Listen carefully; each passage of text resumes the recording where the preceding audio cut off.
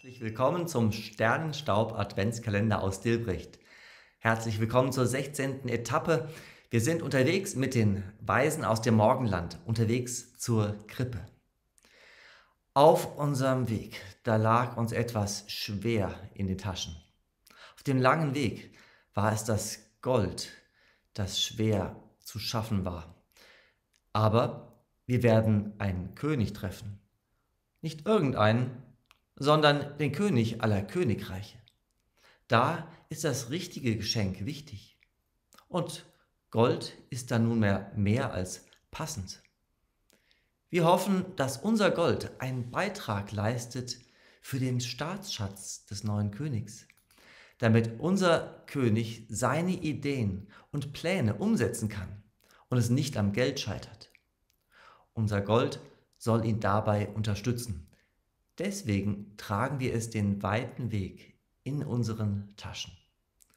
Es kommt nicht oft vor, dass Menschen auftauchen und einfach so Geld oder Gold dalassen.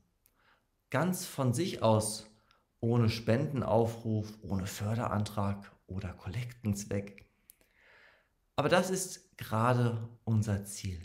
Die Fülle ausgießen über diesem neugeborenen Kind. Sowas wie eine Kindergrundsicherung, naja, im Spaß, aber doch eine Investition in die Zukunft. Wir machen das, weil uns der Stern diese Geburt angekündigt hat, weil wir vom Heiligen Geist überzeugt worden sind, dass hier etwas Großes, etwas Außergewöhnliches passiert. Und wir sind getragen von der Hoffnung dass sich unser Glaube, unsere Überzeugung, unsere Hoffnung ja bewahrheiten wird. Dass wir unsere Mittel, unser Gold richtig einsetzen. Und weil wir hiermit in die Zukunft investieren wollen, ist es das richtige Geschenk für das, was dieser König zukünftig noch tun wird. Nichts Vergängliches, was morgen schon weg ist, sondern etwas, das Früchte bringen wird. Das hoffen wir. Wir wissen ganz genau, wie man so sagt, es ist nicht alles Gold, was glänzt. Das haben wir ja schon herausgefunden, als wir im Palast nach dem Kind gesucht haben und dort alles nach Gold geglänzt hat. Manchmal trügt eben der Schein und es ist gut, dass wir unsere Taschen mit dem Goldgeschenk da an der Stelle noch nicht geöffnet hatten. Denn unser Gold hilft dabei, Ideen und Visionen umzusetzen und soll also nicht in falsche Hände geraten. Dass dieses kleine Kind in der Krippe unser Gold nicht brauchen wird, das wissen wir noch nicht. Es wird seine Kraft nicht durch Gold verstärken, keine Finanzierungen für Ideen und Visionen brauchen. Vielmehr wird es die Herzen gewinnen.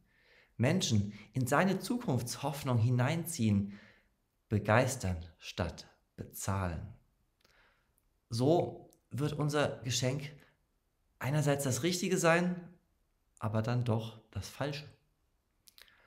Unsere Gedanken, die wir hatten, als wir die glänzenden Stücke aus der Truhe holten und verstauten, waren schon richtig.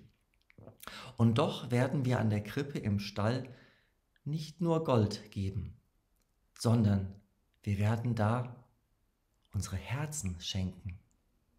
Gott wird uns offenbar mit seiner Macht, mit seiner Herrlichkeit in diesem Kind, welches unsere Liebe möchte.